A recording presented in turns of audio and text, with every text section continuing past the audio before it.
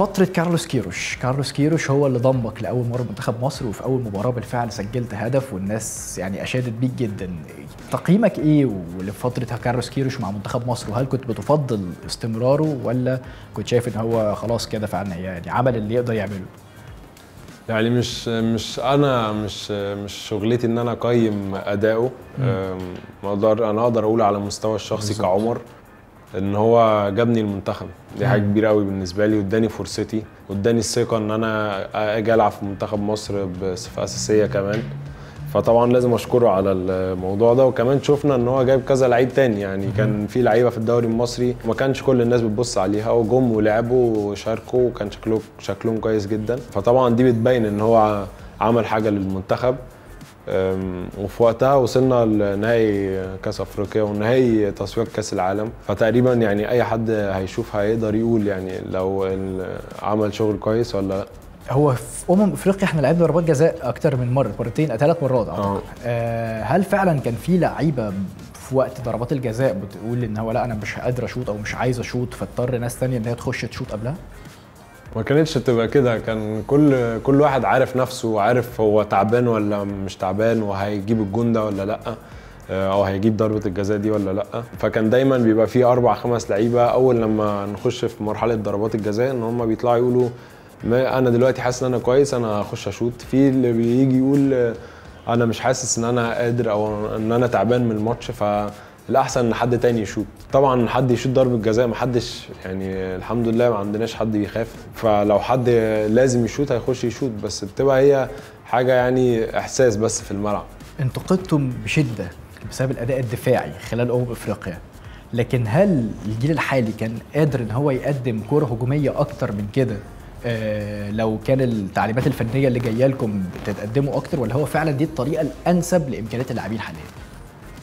لا ما أعرفش بصراحة يعني أنا مش مدير فني آه بس على الأقل م- بمستوى شخصي آه. أنت ممكن يعني يعني عندنا ب- بتعليمات فنية إن أنت ما تتقدمش أكتر من كده مثلا ما يبقى ليك واجبات دفاعية أكتر من الهجومية ولا إيه؟ لا هو أنت بتبقى واخد تعليمات من مدرب بتنزل تنفذها طبعا بيجي لك أوقات في الماتش إنك لازم تنفذ من دماغك إحنا عندنا الإمكانيات آه، في المنتخب بتاعنا إن إحنا نلعب كوره كويسة جدا وعندنا لعيبة جامدة جدا بس التوفيق مش مناسبنا بس الفترة اللي فاتت وبنشتغل على نفسنا جامد وكله مركز في نادي إن إحنا إن شاء الله الفترة الجاية نقوم تاني ونبتدي من أول وجديد ونشتغل ونحقق حاجة كويسة. طيب مع منتخب مصر أنت اتمرنت لحد دلوقتي تحت قيادة كارلوس كيروش وكابتن إيهاب جلال. آه أنهي طريقة كانت مناسبة أكتر لإمكانياتك أنت في كل الأحوال؟ أنت لو بتنزل تأدي التعليمات المناسبة للفريق إنما أنت أنهي كانت مريحاك أكتر في الملعب؟ إحنا الم... يعني لعبنا مع كيروش 8 أو 9 ماتشات. كابتن ايهاب جلال لعبنا معاه ماتشين آه، فما لحقناش نتعلم هو عايز مننا إيه بالظبط أو ما لحقناش نشوف هو بيطلب مننا إيه. آه، طبعا لما تبقى مع مدرب تاني لفترة طويلة فبتتعلم أكتر بكتير. أنا من نوع اللعيبة اللي أنا بحاول أتعلم من كل مدرب حاجة. اتعلمت من كيروش حاجات كتير. اتعلمت من كابتن إيهاب برضه حاجات كتير مع إنه ما كانش موجود فترة طويلة. بس آه، يعني آه، ما مش مش عارف بالظبط إيه الأحسن. بس إحنا أدينا بشكل كويس جدا مع آه، كيروش. كيروش في الفترة اللي فاتت ووصلنا النهائي وعملنا حاجة كويسة. بالنسبة لي أنا ما دام بنكسب وكل واحد بنلعب كلنا كفرقة مش مهم بالنسبة لي إن إيه اللي يريحني أكتر مهم اللي ناسب في الفرقة واللي هيكسبنا. في السنغال بمناسبة الحديث عن فترة كيروش تعرضنا لضغط جماهيري قوي وغير معتاد يعني مؤخرا للاعبين المصريين. فهل حصل أكتر من اللي شفناه قدام الكاميرات؟ قدام الكاميرات شفنا ليزر بيوصلات هتافات عادي بتحصل في لكن الكلام كتر قوي على إن الجمهور هو اللي خسرنا الجمهور هو اللي خسر فهل ده كان في حاجة ما شفناهاش إحنا؟ الأجواء طبعا كانت صعبة قوي بس مش الجمهور اللي خسرنا.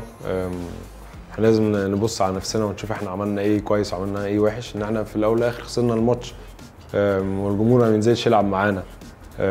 بس طبعا الأجواء كانت صعبة كانت صعبة جدا طبعا و والليزر كان دايما وأنت في الملعب حاسس بيه في عينك ومش شايف الكورة كويس بالذات ضربات الجزاء. أنا ما شطتش بس من اللي أنا كنت شايفه. بس دي كلها حاجات بنتعلم منها إن إحنا قدام لما نروح بلد في أفريقيا رايحين نلعب ماتش مهم زي ده إنك تكون مجهز نفسك ذهنيا إنك رايح تشوف حاجات زي دي فتنزل وإن إحنا شفناها قبل كده حاجة هتساعدنا جدا طبعا قدام وبالذات إن إحنا خسرنا الماتش.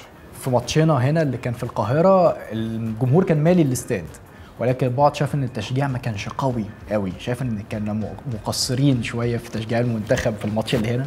أنا كان بالنسبة لي كان آه، إحساس مش طبيعي إن أنا أبقى في استاد القاهرة إن أنا كنت دايما بروح أتفرج على الماتشات فيه. لعبت فيه قبل كده بس عمري ما لعبت فيه وهو مليان. أول لما نزلنا طبعا أول 10 دقائق تلت ساعة الصوت كان عالي جدا. بعد شوية الجمهور هدي شوية. كان ممكن يطلع أكتر بس يعني آه، الحمد لله كسبنا الماتش ده. وإن إحنا نكسب الماتش ده في في استاد القاهرة برضه حاجة كبيرة بالنسبة لنا. وطبعا بنحب نشكر الجمهور كله إن هو جه واتفرج علينا إن الاستاد كان مليان فوق بعضه والناس كانت في الملعب قبل الماتش بأربع خمس ساعات. فدي حاجة كبيرة جدا بالنسبة لنا. هي مصر كمنتخب مصر فقدت هيبتها أمام كبار إفريقيا بقينا مثلا بننزل خايفين قدام فرق زي السنغال ونيجيريا. ولا يعني إحنا إيه سبب الأداء الدفاعي شوية اللي بقينا بنلعب بيه قدام الفرق اللي زي دي عكس أجيال سابقة يعني؟ إحنا ما بنخافش من حد إحنا منتخب مصر ومنتخب مصر من أجمل المنتخبات في العالم. في افريقيا في بطولة أفريقيا اللي فاتت لعبنا ضد المغرب ولعبنا ضد كوت ديفوار والكاميرون. وكل الماتشات دي كسبناها. فده بيوري إن إحنا من أجمل المنتخبات في العالم وما بنخافش من حد وممكن يكون العكس ممكن يكون الناس اللي بتخاف مننا. بالذات إن إحنا معانا محمد صلاح معانا في فرقة من أحسن لعيب في العالم. وبنحاول برضه في الفترة اللي- جاية إن إحنا نسترجع ال- الروح وننزل الملعب كفرقة ونبقى منتخب مصر بتاع زمان اللي هو بيكسب أي حد.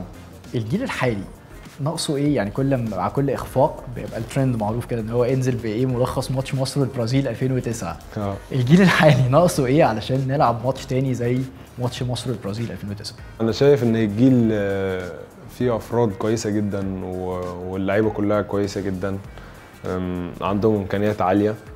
إحنا بس محتاجين شوية وقت إن إحنا نتعود على بعض بالذات إن إحنا في لعيبة صغيرة كتير وأنا واحد من ضمنهم في المنتخب حاليا. إن إحنا نكتسب الخبرات ونلعب قدام جمهور كبير ونتعود على الأجواء دي.